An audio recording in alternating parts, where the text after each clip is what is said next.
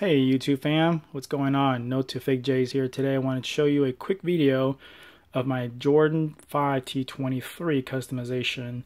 Um, when the shoes came out, um, I was really stoked. I was really hoping to get a pair, but unfortunately it was only released in Tokyo and they're going for about 25 to 5 grand on eBay. So I figured, eh, not gonna get a pair there. So I decided to customize my own. Uh, took the the uh, Jordan 5 Royal Stealth Blue um, and as a base shoe, and um, and yeah, check it out. So first, I started out with the yellow paint.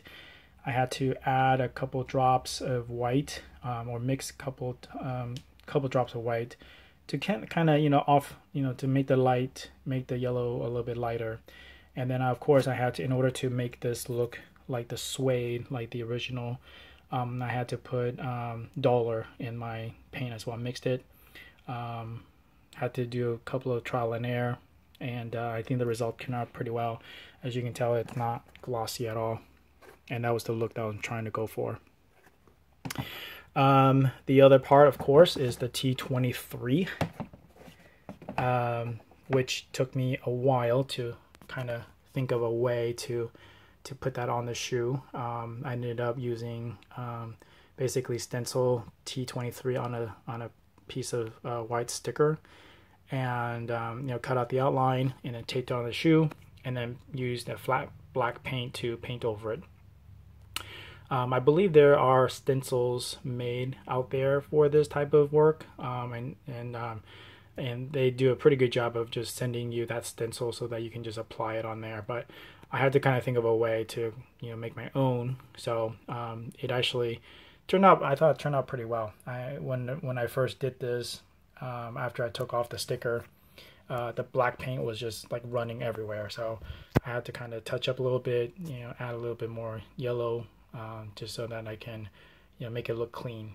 Um, uh, for the side netting here, uh, I just painted bone bone gray, and then same thing with the inner net, netting as well as the uh, the the uh, lace loops, uh, lace holes here. Okay. Uh, as for the inner sock lining, as you can tell, the original was blue, right there, and then um, but I painted it gray now for the back part, the Jumpman is blacked out. And then for the side here, um, the black is glossy versus the white here is more of a flat, uh, flat white. Uh, did some speckles on the on the flame there on the side. And then um, and then you can tell the bottom sole is still, you know, the royal uh, stealth royal blue. Okay, I didn't do anything there. Um, and then the uh, Jumpman on the tongue is grayed out to match the uh, inner sole. I mean inner lining of the shoe. All right, so yeah, just wanted to kind of give you guys a quick video of this customization. I'm actually very, um, very uh, content of how it turned out. Um, and um, and I just wanted to kind of show people that this can be done. You just have to kind of mix and you know trial and error on if you want to get a pair yourself then just um, you know let me know if you have any questions on how to customize this.